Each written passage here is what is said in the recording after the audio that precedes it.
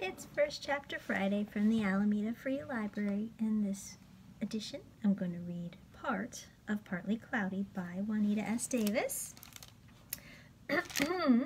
published by Katherine Tegen Books.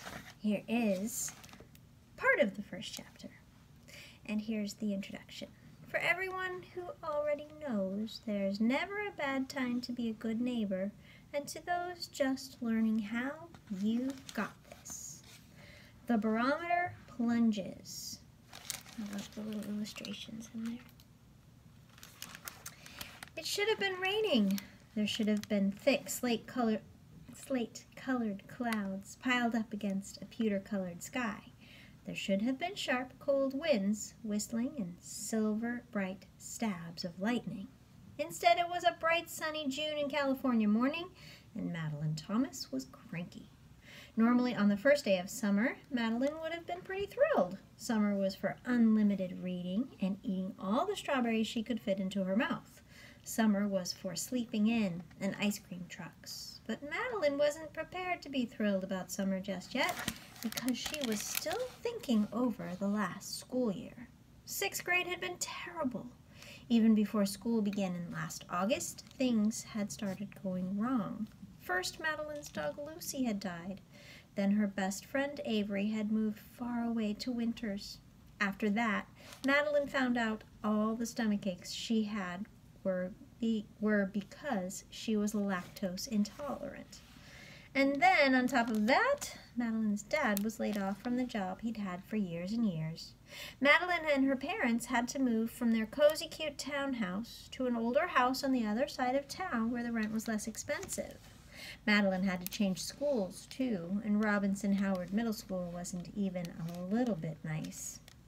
It was big and gray, and the lights in the library had dead bugs in them. The cafeteria was huge, and without Avery, Madeline never knew who to sit with. Her first day, there was a huge food fight, and she got spaghetti in her hair. The day a kid named Mark brought a gun in his backpack to show around was the worst. People were screaming. Teachers were panicking. Madeline forgot everything she had learned in, shoot, in shooter drills and ran out of the cafeteria into the bathroom and hid on a toilet seat, choking down sobs and hoping no one came in. Madeline survived the school year, and Lucy dying, and Avery moving, and never having dairy ice cream again without taking a pill. But she was determined never, ever, ever to go back to Robinson Howard Middle School again, which her mom said was fine. What do you mean it's fine? Madeline blurted, twisting around in her seat at the table.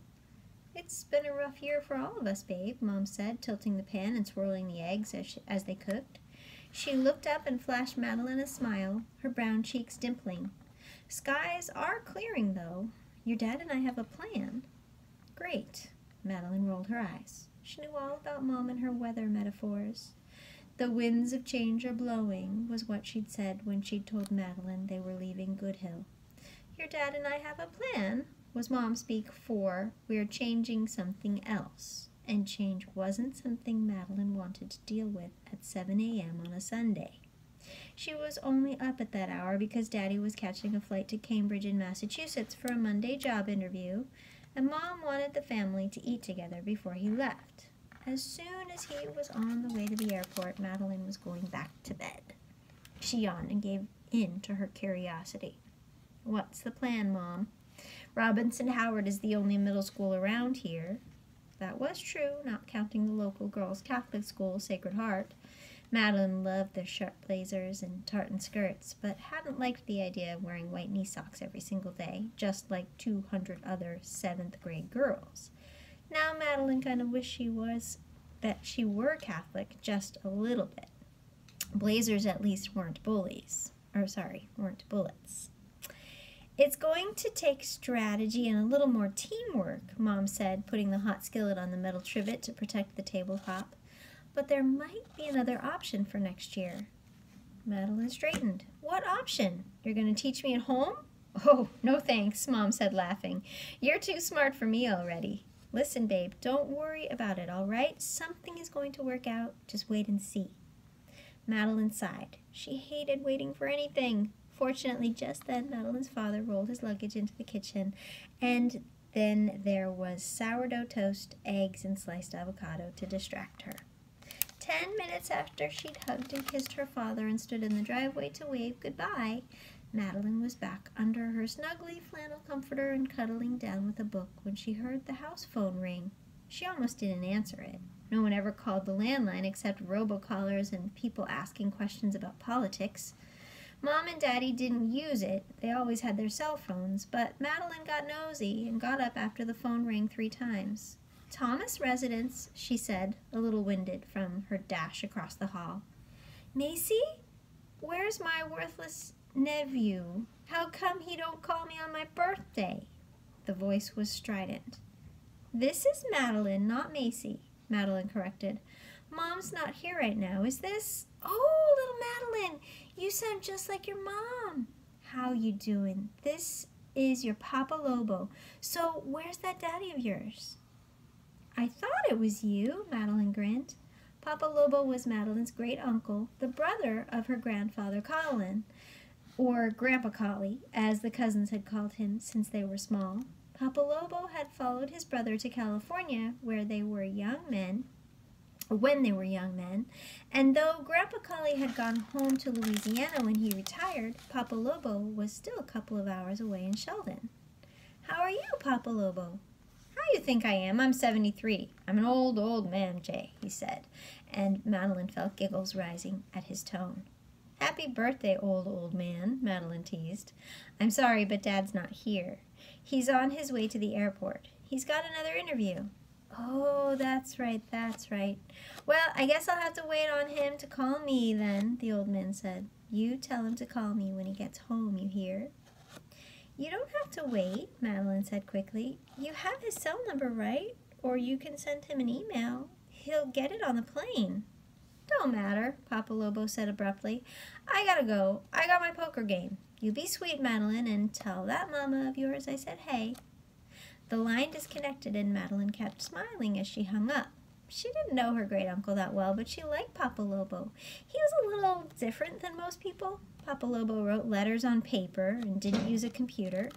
He read a paper newspaper all the way through and listened to talk shows on the radio, and he didn't text ever.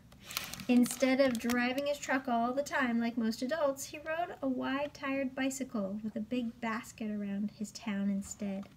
Mom said it was because he was a small town nonconformist and had done things this way forever. Madeline thought Papa Lobo just liked to be contrary, as Grandpa Collie put it. Madeline knew Papa Lobo wouldn't call Daddy back, that was for sure. Daddy would have to call him, or Papa Lobo would never let him hear the end of it.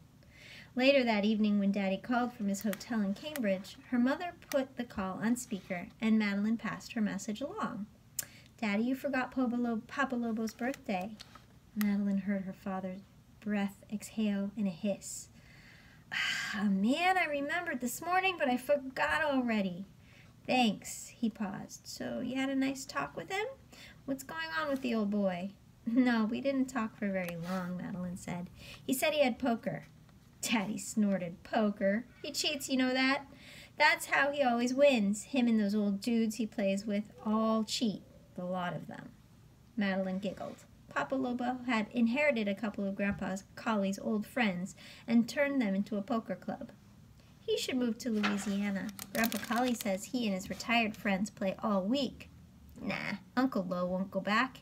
He says he can't see the sense of hurricanes every year. Guess he likes earthquakes just fine. Daddy laughed.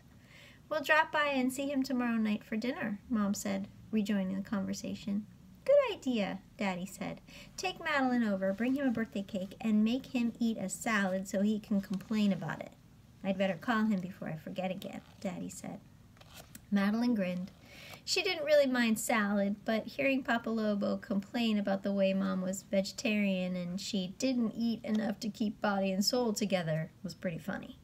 As long as Madeline knew there was cake, hanging out with Papa Lobo was just fine with her.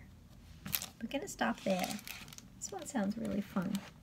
I hope that, it, uh, that you enjoy it and you can find it from the Alameda Free Library. See you next time.